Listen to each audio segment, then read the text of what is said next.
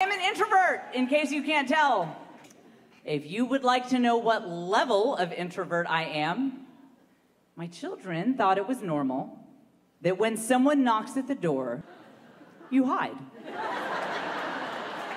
it would be like, go, go, go, get away from the window, away from the window. It might be a friend. And then they'd go over to their friends' houses, and when the doorbell would ring, they'd be like, Should we hide behind the couch or the table? There's this misconception. Being an introvert doesn't mean that I don't like being around people. I love being around people the way an astronaut likes going to the moon. It is a wonderful, beautiful, joyful experience that makes life worth living.